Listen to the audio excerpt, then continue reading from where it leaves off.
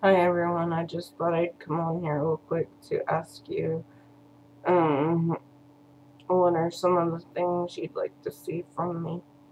Um, I know that I do a lot of hauls and stuff like that, but I don't read like everybody else on here, um, and I'm not trying to start doing that.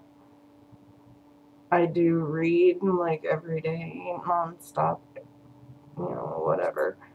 But I'm not trying to get up to like 10 books, whatever. It's just whenever I feel like reading, I read. So if you guys would like to see something from me, please let me know uh, down at the bottom bar. Um, and I'll see what I can do. Thanks. Bye.